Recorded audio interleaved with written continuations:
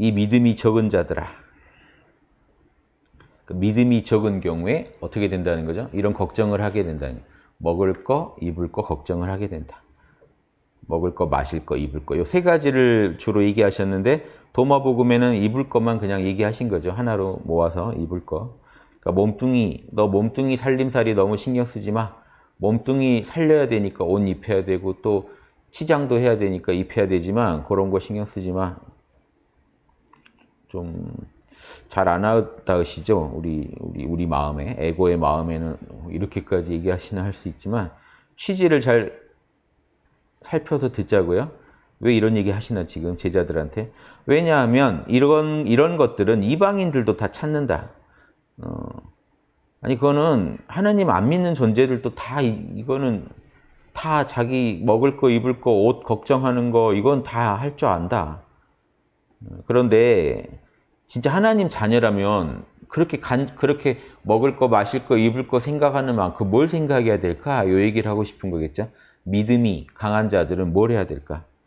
어, 그대들보다 아, 그대들의 하늘에 계신 아버지께서 하느님의 자녀라면 그대들이 필요로 하는 모든 걸 다 알고 계시고 또 그 사실 우리보다 더 잘 알고 계시다. 이 정도 믿어야 되는 거 아닌가요? 이런 신뢰가 있어야 되지 않나요?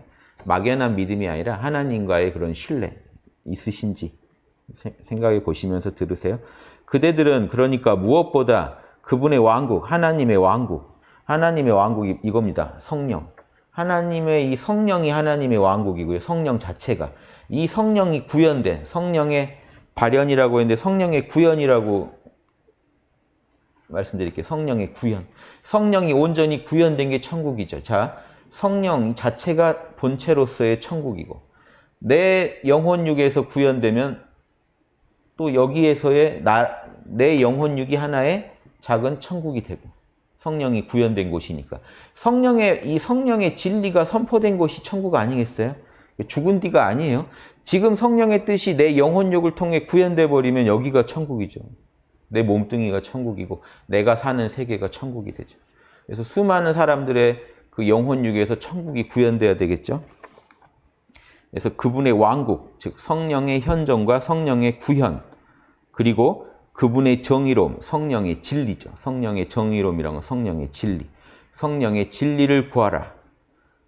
오로지 성령의 현존과 성령의 진리를 구하라. 이렇게 말씀드릴 수도 있어요. 그러면 이 모든 것들도 함께 받게 될 것이다. 먹을 거, 입을 거 걱정 안 해도 아버지께서 다 챙겨 주실 것이다. 그대들 몫을 챙겨 주실 것이다. 그러므로 내일을 걱정하지 말라. 내일은 내일이 걱정하도록 하라. 저도 그런 말씀 드린 적 있죠. 내일 일을 내일 걱정할 수 있는 걸 미리 끌어당겨서 걱정하지 말라. 내일은 내일 걱정해라 이거죠. 내일은 내일이 걱정하게 해라. 그날의 괴로움은 그날로 충분하다. 오늘 하루 무사히 이런 마음으로 오늘 하루 성령의 성령의 현존과 접속하고 성령을 구현하려고 성령의 진리를 예, 추구하는 그런 삶, 성령의 진리를 분석하고 실천하는 그런 삶 되시기를 바랍니다.